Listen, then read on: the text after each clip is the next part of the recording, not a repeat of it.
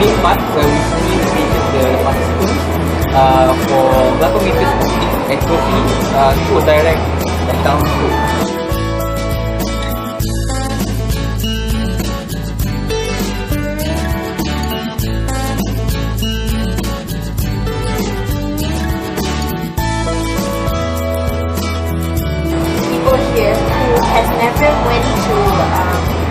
Any, they've never seen any doctors, never, never went to a clinic or a hospital to get themselves checked. And I feel, I felt very fulfilling knowing that I helped them.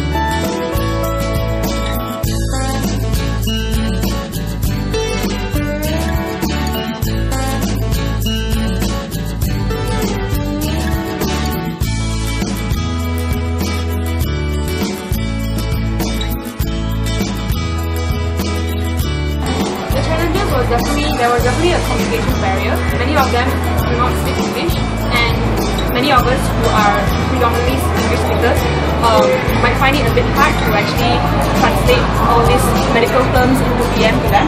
So, but it was still okay. It was still fun overall, and it's a challenge for us to make sure that we do not use medical jargon, but also use um, layman terms.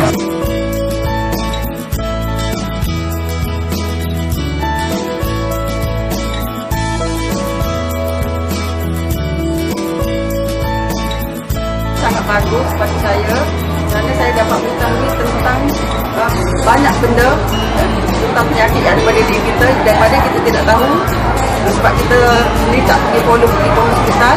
Jadi dekat sini uh, kita diberi peluang uh, yang lebih dekat untuk kita turun ke bawah untuk cek tahap kesihatan